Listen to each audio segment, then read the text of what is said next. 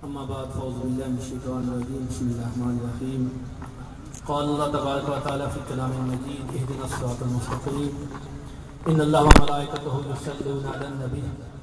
يا أيها الذين آمنوا صلوا عليه وسلموا تسليما. اللهم صل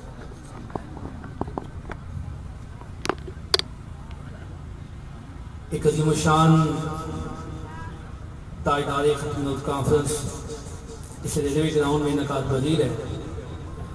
اشاکان مصطفیٰ کا ہجوم ہے۔ تحریک لبیک پاکستان اٹک نے انتہائی شاندار پروگرام کا انعقاد کیا۔ میں تمام ساتھیوں کو ہدیہ تبریک پیش کرتا ہوں۔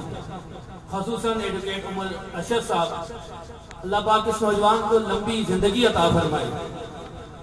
حالیہ دنوں میں جو ہمارے ساتھی جو ظالمانہ غیر مصطفانہ فیصلے کا شکار ہوئے۔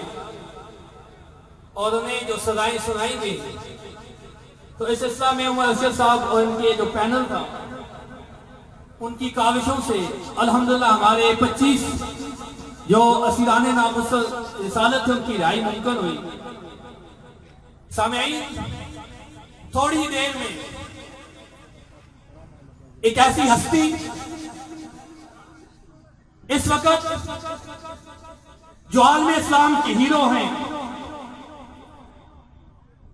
جو کسی تعارف کے محتاج نہیں رہے، امیر مجاہدین، بلکہ امام المجاہدین، قائد ملت اسلامیہ، حضرت علامہ خادم حسین رضوی، ان قریب اس پنڈال میں تشریف لانے لگے ہیں۔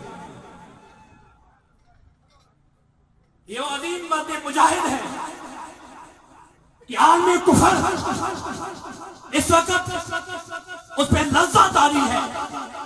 بابا جی کا نام لیا جائے تو پریشان ہو جاتے ہیں۔ اور یہاں بھی ان کے ایسے غلام سہری غلام موجود ہیں جن کو بابا جی کے نام سے بڑی تکلیف ہوتی ہے۔ اللہ پاک نے بابا جی کو بڑی عزت عطا فرمائی۔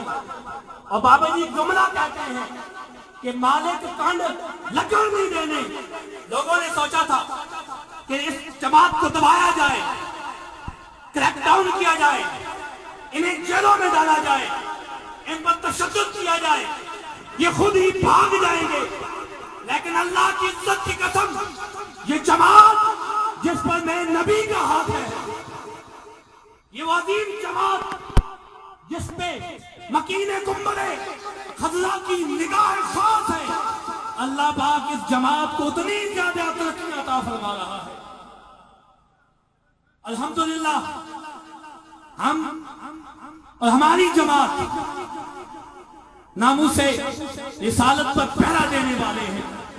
عقیدہ ختم نبوت کا تحفظ کرنے والے ہیں۔ اور اس تحریک کا قیام وجود میں آیا۔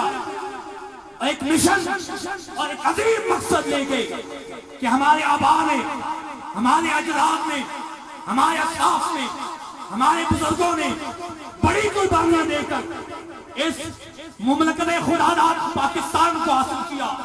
مقصد کیا تھا؟ مشن کیا تھا؟ کہ اس ملک میں نظام مصطفیٰ کا نفاذ ہو۔